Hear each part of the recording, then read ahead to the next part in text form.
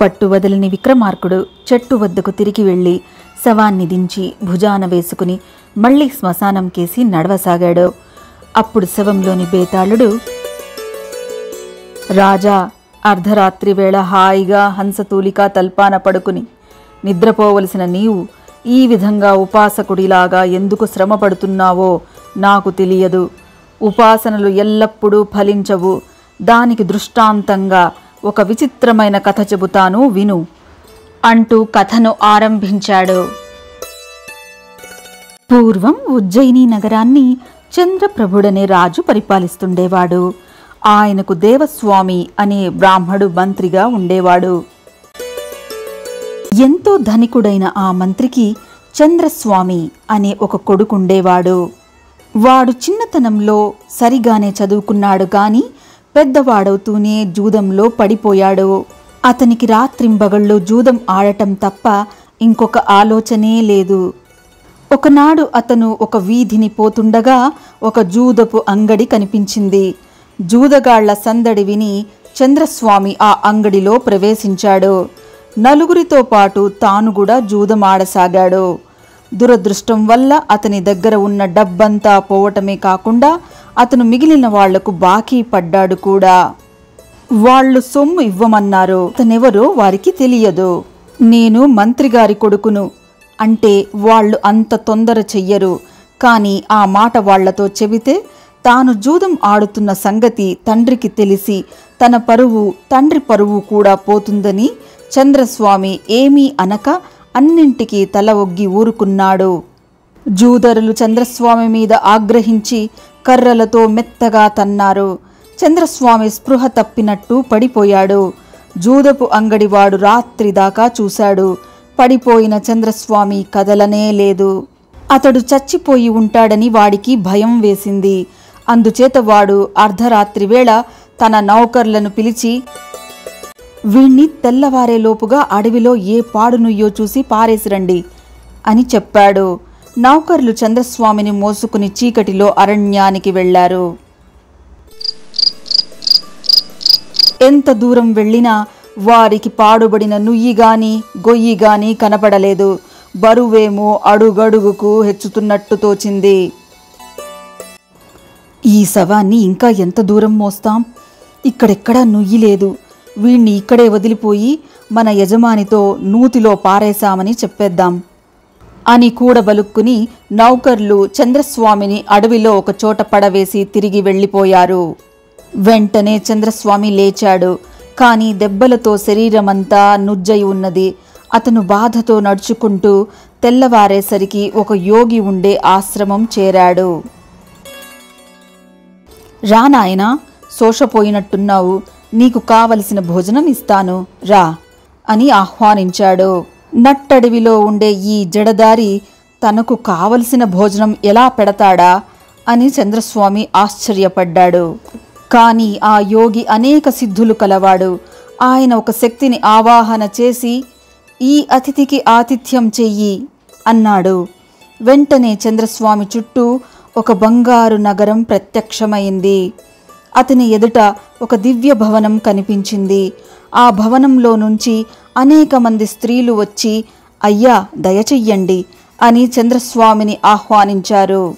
వారు అతనికి అతిథి మర్యాదలు చేసి దివ్యమైన భోజనం పెట్టారు. భోజనం చేసేటప్పుడు ఒక దివ్య సుందరి వచ్చి అతని సరసనే కూర్చుని భోజనం చేసింది. భోజనం చేసి అతను హంస తూలికా తల్పం మీద పడుకుని నిద్రపోయాడు. బడలిక తీరి నిద్రలేచాక తాపీగా ఆ యువతిని గురించి విచారించుదామనుకున్నాడు. కానీ అతను నిద్రలేచి చూసేసరికి ఎదురుగా యోగి ఉండే పర్ణశాల చుట్టూ అడవి మాత్రమే ఉన్నది. నగరం లేదు స్త్రీలు లేరు భవనాలు లేవు. యోగి అతని దగ్గరికి వచ్చి ఏం నాయనా ఆతిథ్యంలో ఏ లోటు రాలేదు కదా? నీకు అంతా సుఖంగా జరిగిందా? అని అడిగాడు. తమ దయ వల్ల అంతా సుఖంగానే జరిగింది.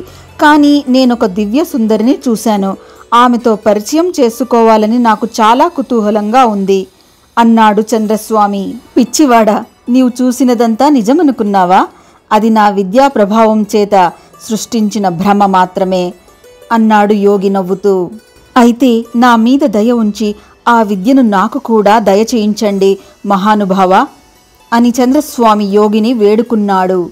నాయనా ఈ విద్య సులువుగా అబ్బేది కాదు. దీనికోసం నీవు ప్రయత్నించలేవు. దీనికోసం నీటిలో మునిగి జపం చెయ్యాలి. ఈ జపంలో ఉన్న సాధకుణ్ణి మాయ చుట్టేస్తుంది.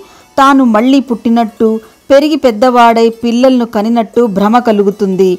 అదంతా నిజమేననుకుని వాడు తన సాధనను మరచిపోతాడు. అలా మరచిపోకుండా ఎవడైతే ఇరవై నాలుగేళ్ళ పాటు ఆ భ్రమ జీవితం గడిపి ఆ భ్రమలోనే అగ్ని ప్రవేశం చేస్తాడో అటువంటి సాధకుడు విద్యను సాధించి నీటి నుండి బయటికి వస్తాడు. సామాన్యులకు ఈ విద్య సిద్ధించదు అన్నాడు. చంద్రస్వామి మొండి పట్టు పట్టి అలా కాదు విద్య నేను సిద్ధింప చేసుకుంటాను మీరు అనుగ్రహించండి అన్నాడు. నీకు విద్య సిద్ధించకపోతే నీ సాధన విఫలం అవడమే కాదు తగని వాడికిచ్చినందుకు నేను సాధించిన విద్య కూడా నష్టమైపోతుంది. అని యోగి చంద్రస్వామిని హెచ్చరించాడు. తమకు ఎలాంటి నష్టము నేను కలగనివ్వను స్వామి అన్నాడు చంద్రస్వామి. యోగి అతని మాట తీసి వెయ్యలేక విద్యనివ్వడానికి నిశ్చయించుకుని సరే నీవు నీటిలో మునిగిన తర్వాత అగ్ని ప్రవేశం చేయవలసి వచ్చినప్పుడు నేను హెచ్చరిస్తాను. సంకోచించకుండా అగ్ని ప్రవేశం చెయ్యి.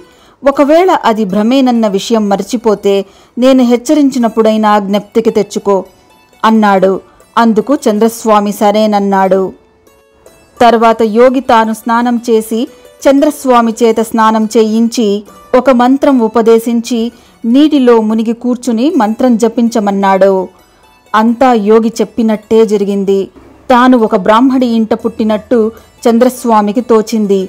తరువాత అతను పెరుగుతూ ఉపనయనం చేసుకుని విద్యాభ్యాసం సాగించాడు. తరువాత అతని పెళ్ళయింది. అతనికి పిల్లలు కలిగారు. వారు పెరిగి పెద్దవారవుతున్నారు. అతని జీవితం అన్ని విధాలా సుఖంగా వెళ్ళిపోతున్నది. ఇంతలో చంద్రస్వామికి గురువు చేసిన హెచ్చరిక వినబడింది. తాను విద్యాసిద్ధి కోసం జపం చేస్తున్న సంగతి స్ఫురణకు వచ్చింది. ఇక అగ్ని ప్రవేశం చెయ్యాలి. ఆ భ్రమలోనే అతను అగ్ని ప్రవేశానికి అంతా సిద్ధం చేశాడు. కానీ అతని బంధువులు పెద్దలు భార్య బిడ్డలు చుట్టూ మూగి అయ్యయ్యో వద్దు వద్దు అని ఆక్రోశించసాగారు. అతనికి భయం పుట్టింది. నేను చచ్చిపోతే వీరంతా ఏమవుతారు? అని అనుకున్నాడు. యోగి అగ్ని ప్రవేశం చెయ్యమన్న మాట జ్ఞాపకం వచ్చింది. ఆయన తెలిసి చెప్పాడో తెలియక చెప్పాడో అని సందేహం కలిగింది. అయినా చంద్రస్వామి మనస్సు రాయి చేసుకుని అగ్నిలో ప్రవేశించాడు. కానీ అగ్ని కాలలేదు. చంద్రస్వామి నీటిలో లేచి నిలబడ్డాడు. అతడికి భ్రమ అంతా వదిలిపోయింది. ఒడ్డున నవ్వుతూ యోగి నిలబడి ఉన్నాడు. చంద్రస్వామి యోగి వద్దకు వచ్చి నమస్కరించి స్వామి అంతా తమరు చెప్పిన ప్రకారమే చేశాను. కానీ అగ్ని ప్రవేశం చేసినప్పుడు అగ్ని చల్లగా ఉందేం? అని అడిగాడు. నువ్వు ఏదో తప్పు చేసి ఉంటావు. అగ్ని చల్లగా ఉండడమేంటి? ఆశ్చర్యంగా ఉంది అన్నాడు యోగి. నేను సరిగ్గా తమరు చెయ్యమన్నట్టే చేశాను స్వామి అన్నాడు చంద్రస్వామి. నిజం ఇప్పుడే తెలుసుకుందాం అంటూ యోగి తన విద్యను ఆవాహన చేశాడు. కానీ విద్య రాలేదు. యోగి కంట నీరు పెట్టుకుంటూ నీకు విద్య రాకపోగా నాకు వచ్చినది కూడా పోయింది అన్నాడు. బేతాళుడి కథ చెప్పి రాజా చంద్రస్వామి అంతా సరిగానే చేశాడు గదా అతనికి విద్య ఎందుకు రాలేదు? గురువుకున్న విద్య కూడా ఎందుకు పోయింది? ఈ సందేహం నాకు తీరలేదు. తెలిసి కూడా నా సందేహం తీర్చకపోయావో నీ శిరస్సు పగిలిపోతుంది అన్నాడు. నా చేత మాట్లాడించడానికి అడుగుతున్నావు కానీ ఇందులో సందేహానికి అవకాశమేమున్నది? చంద్రస్వామి తన భ్రమను నిజమనుకుని అగ్నిలో దూకడానికి సంశయించాడు. ఆ కారణం చేతనే అతనికి విద్య దక్కలేదు. అపాత్రుడికి విద్య ఇచ్చిన కారణం చేత గురువు యొక్క విద్య కూడా నష్టమైపోయింది అన్నాడు విక్రమార్కుడు. ఈ విధంగా రాజుకు తిరిగి మౌనభంగం కలగగానే బేతాళుడు శవంతో సహా మాయమై మళ్ళీ చెట్టెక్కాడు.